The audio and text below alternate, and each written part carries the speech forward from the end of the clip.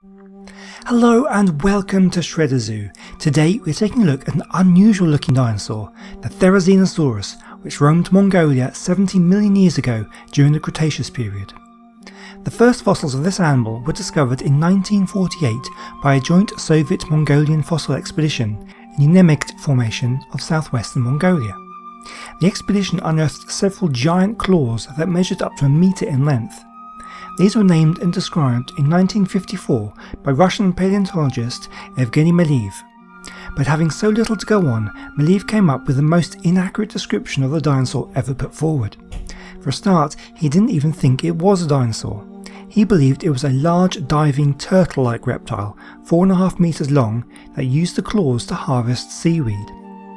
It wasn't understood to be a theropod dinosaur until 1970. However, it still wasn't known what kind of dinosaur it was. It was assumed that with these huge claws it must be a carnivore, and was reconstructed with a carnosaur-like head and raptor-like killing claws on its foot. More fossils were found during the 70s and early 80s, but to date this picture shows in red the extent of the fossil remains found. It wasn't until the 1990s that some well preserved fossils were found of some closely related dinosaurs, namely Alxasaurus and Beipiaosaurus. These dinosaurs helped piece together the missing details of Therizinosaurus and allowed paleontologists to provide more accurate reconstructions. The model depicted here in ARK is a pretty accurate representation of how Therizinosaurus would have looked like in life.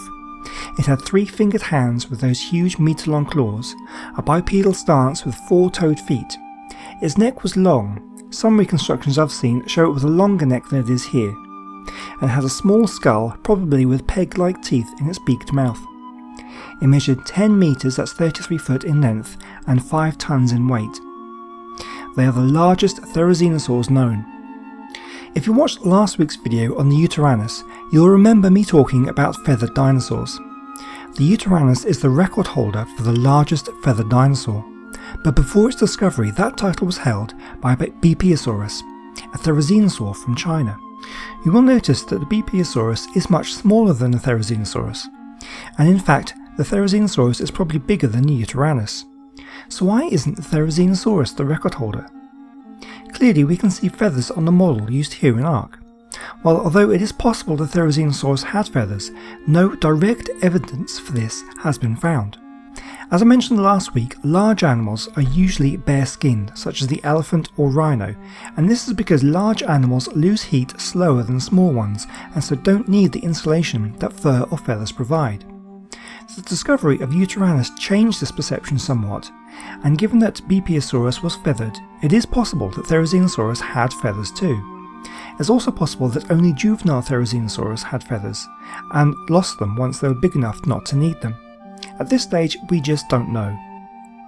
Another aspect that is debated is the diet of Therizinosaurus. Most likely it was a herbivore.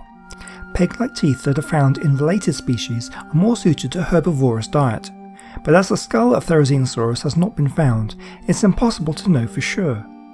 The evolutionary ancestors of the Therizinosaurus were carnivores, and it is possible that meat made up a small amount of its diet. We can look to the modern panda for an equivalent.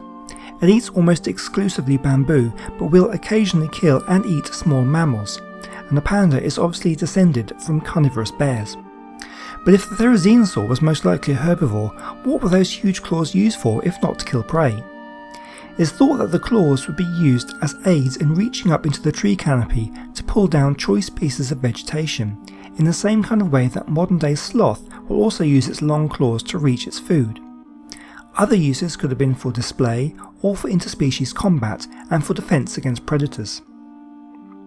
Well that's all I have for you this week and as always I hope you've enjoyed the video and you've learned something new. If you did, please let me know by leaving a like and a comment down below. Please check the description of this video for links to my Twitter, Discord and Patreon and consider sharing this video with someone else who might find this of interest.